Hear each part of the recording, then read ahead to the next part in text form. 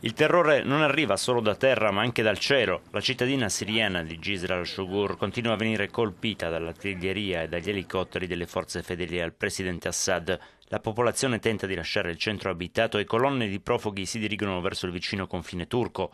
Alcuni di loro hanno raccontato di nuove spaccature tra i militari, da una parte i fedelissimi del regime pronti a tutto per reprimere la rivolta che prosegue da ormai tre mesi, e dall'altra alcune unità che si sono rifiutate di sparare sulla popolazione.